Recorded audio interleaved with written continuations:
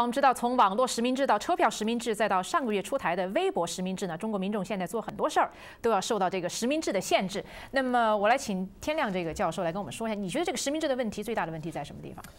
实名制在一个自由社会不是问题，因为我觉得像我们写文章的话，我愿意署上自己的真名，文责自负，是吧？我在网上发言的话，我署上自己的实名的话，我觉得我为我的言论负责，我觉得这是一个负责任做法。但是问题在于，就是说中共在这样的一个集权，在中共这样一个共产党社会里边的话，它的实名制不是让你说话负责任，而是害怕你说话负责任。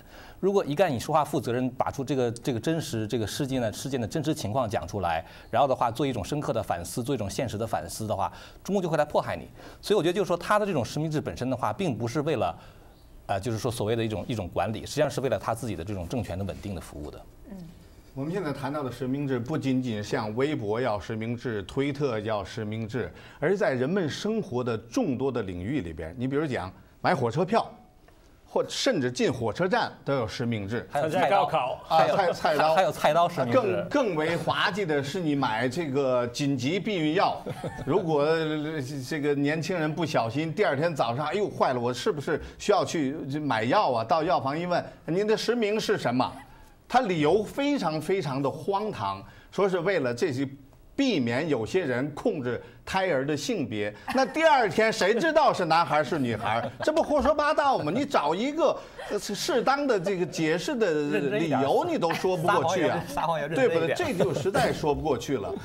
不过这个微博实名制是据中国自己的这个各部委的这个说法呢，说是这个因为现在微博上有很多，比如说人人身攻击呀，或者污蔑性的语言呐，侮辱性的语言，他们觉得用实名制呢，实际上能够控制，特别是很多人的名誉觉得受到损伤，那么他们觉得实名制可以这个控制这个 这个对人的名誉的损伤。那么你们怎么看这个问题？戴博不不不不太有说服力。其实我觉得你你你说的很对，虽然当然你在微博方在互联网上，你愿意讲什么时候可以非常的不负责任的讲，可是归根结底，这个还是你信任还是不信任人民。的一个问题，因为我我在美国也看了很多很不负责任的人写的，我是辨别的出来，这个人是不值得听的。我是知道什么是真正的新闻比较可靠，什么就是道听途说，什么是一个人就是污蔑别的人，我是知道的。所以政府是给了我这个信任这个余地，来凭我自己的判断力选择我觉得有用的东西。所以不是说没有不负责任的行为，肯定有。对。可是政府信任不信任我做出这个决定？这里有一个很有很有意思的原则，就是微博或者是互联网是说话的一个，就是说。申言是不是？那么我们就说这个等于是说话是不要实名制。如果你是互联网上那个微博实名制，你等于说满街满街走路，大街上骂俩人，这这也怎么怎么也得实名制，是一样一样的性质。对，实际上最后到买东西什么这个实名制呢？政府在通过这个方式来建立一套控制系统，让你都实名。而那个一个自由社会最根本的原则，第一条，一个社会是不是自由，并不是说我有自由说什么。而是你有没有自由让人家不管你？就是说我有没有自由？就说你我如果不犯法之后呢，你管不着。嗯，所以这是我觉得这种实名制触犯的最根本的这个。实名制还带来另外一个非常大的问题，就是使用者的安全的问题，你自己的身份，因为你一旦使用了实名。那么你还要注册你的地址、你的手机号码，怎么能够找到你？警察要想找到你，到什么地方去？怎么去找到你？等等，这个的一旦有黑客把你这个网络公司的这个。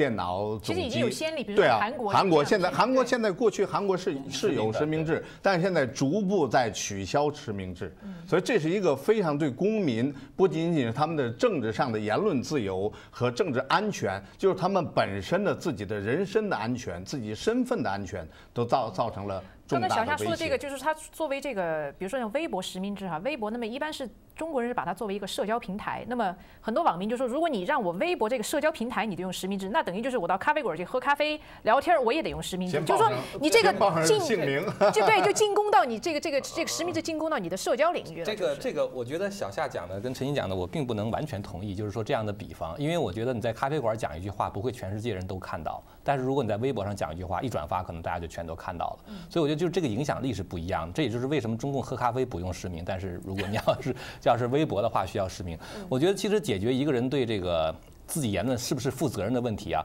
不在于说把他的实名拿过来，而在于说让这个社会上有一个大家都能够公开讲话的环境。你比如说，这个人攻击我在微博上做了一些不不不受不负责任的攻击，但是我可以辩护啊，我跟他是处于一种同样对等的一种一种状态，而且的话，我的朋友的话知道我是一个什么样的人的话，他们对我不会有什么生活上的影响。所以我觉得就是说。中国的实名制本身的话，其实我觉得本质上中共是要建立一种恐惧。那个有一个很有名的故事，就是当时赫鲁晓夫在二十大的时候，不是苏共二十大的时候揭露这个这个斯大林的罪恶嘛？当时底下有人递了一个条子说，赫鲁晓夫同志说这个当时斯大林干这些事儿的时候你在干什么？赫鲁晓夫举着条子说这条子是谁写的？底下一片鸦雀无声。赫鲁晓夫说：“我当时的心态跟你现在是一样的。他说的是我当时就坐在你的位置上。反正就是这意思，就是说，实际上他是通过一种建立一种心理恐惧，建立一种心理恐惧。对，所以我觉得就是说，中共能不能把实名管起来？我觉得管不起来，因为中国有五亿人，你每个人的话都在听什么？他都听，他得多少个人听五亿人同时在讲话？他所以我估计这个实名制是很值得我们今天探讨的。可是这个只不过是短期的一个回合。因为那个任何一个政府，美国也好，中国也好，我我们总是追不上这些新的这些技术的一些发展发展的。所以，就是像下个星期二以后，我们很可能再也没有必要将精力气怎么怎么样。说不定再过一年，我们会觉得，哎呀，你还记得那个所谓的那个叫什么什么什么实名制那个啊？因为。就是会比较短时间的一个。但这个微博实名制是中国四个部委推出共同推出的一个措施，那么其实是在民间引起很大的反弹。那么你看我这儿有一个法律著名人士郝金松，他就说，他说我微博实名了，你官员财产实名吗？我微博实名了，你家海外绿卡实名吗？我微博实名了，你的公车私用实名吗？然后就很多就是说，为什么中国几百万官员的财产实名制？搞了十几二十年搞不下来，但是一个牵涉到几千万人、上亿人的这个这个微博实名一推，马上政府就要推出来，这说明这个政府的一个。对，就是政府没没有办法，就像戴博说的，没有办法驳回，因为这涉及到权力集团他们的利益，他们的这种。政权的稳定都完全颠倒，这个意思。来，咱们做点历史小注脚。对，很好玩的是，就是菜刀实名制这一条啊，就中国历史上还有只有另外一次菜刀实名制，就蒙古人打到打到中国打到中国去，然后蒙古人的政府元朝政府让菜刀实名制，五家买一把菜刀，怕的是造反。那现在这是第二次。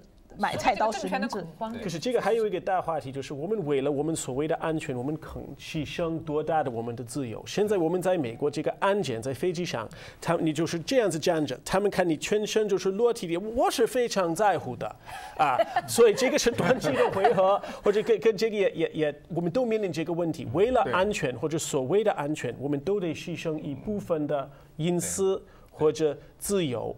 在中国也是有这个有有正当的这类的问题也有，虽然总的来讲我同意这个不是他们真正的目的，这个就是为了审查，为了给你一个恐惧感。可是这个并不是说没有任何正当的问题。那记得我当时《纽约时报》那个啊啊谁写过一篇就评论这个安检这个问题，就说的这谁啊啊 Tom Friedman 就是写那个呃呃地球是平的那个。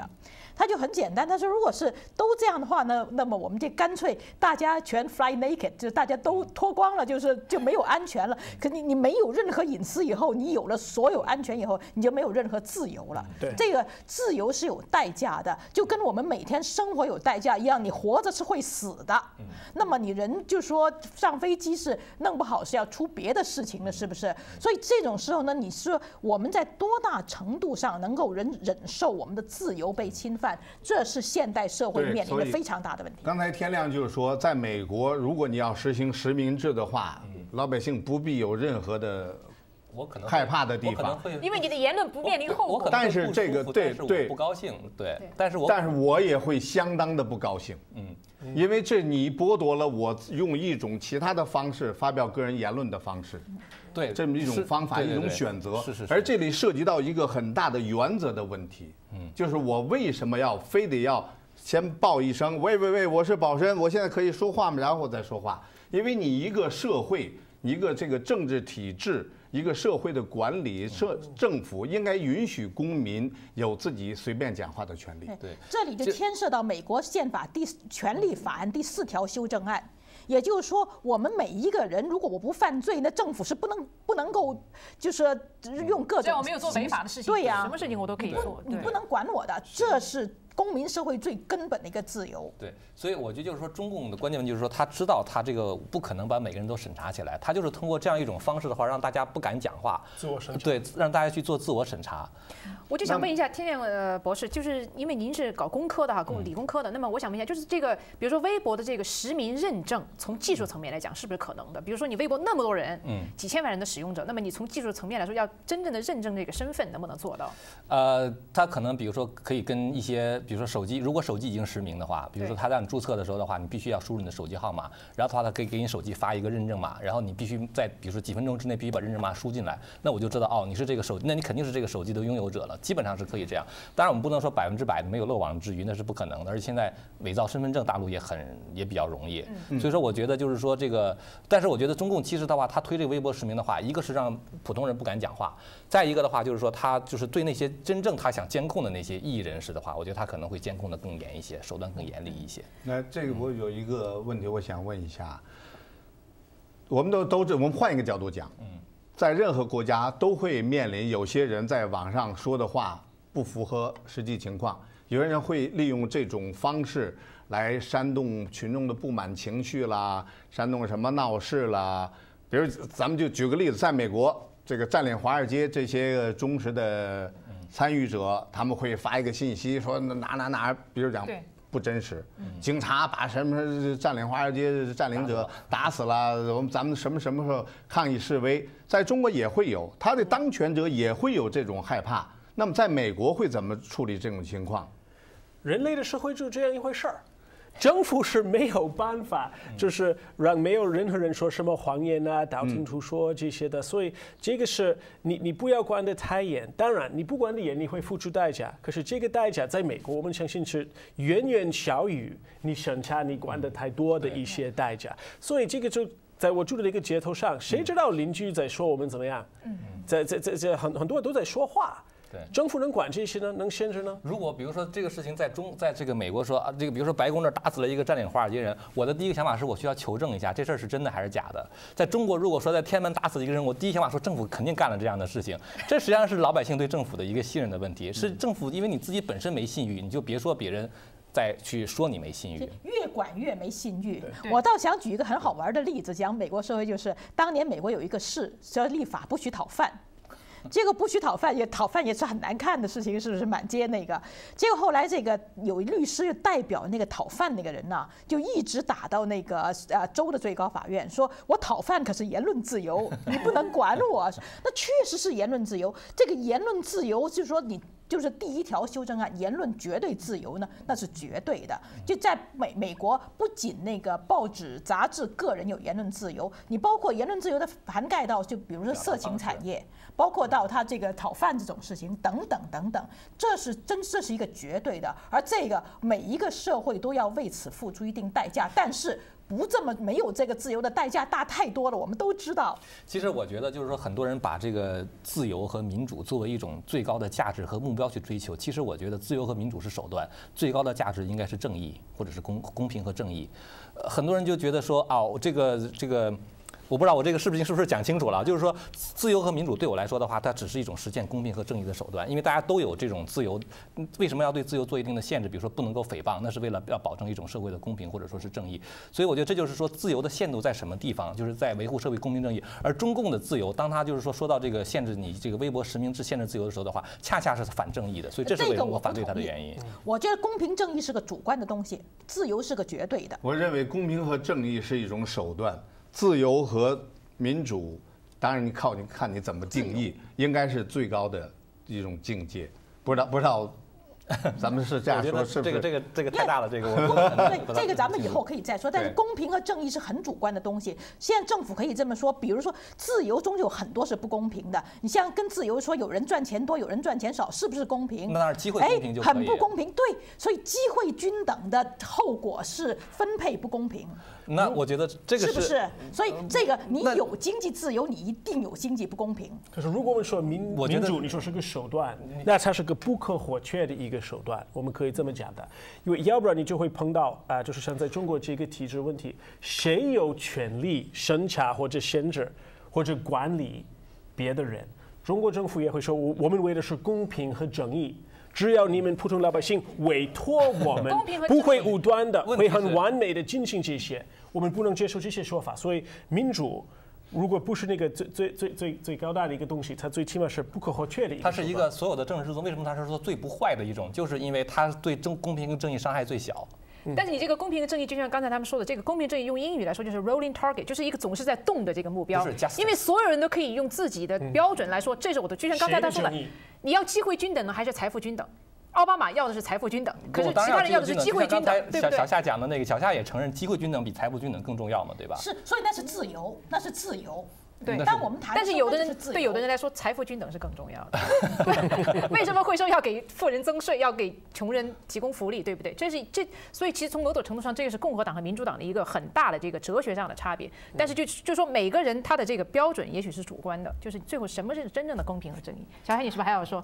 我这要说就没完了，这个 这个，咱们下次再说好不好？好好好，那好，那么我们今天我们这个焦点对话就结束到这儿。我我我知道天亮博士留着下次我我们再说。那么感谢我们的四位嘉宾戴博、张天亮、龚小夏和宝生的精彩的讨论。那么欢迎您写电子邮件到 chinese at voa news dot com，就我们的节目提出建议，并且提出您希望讨论的话题。我是宁鑫，祝您晚安。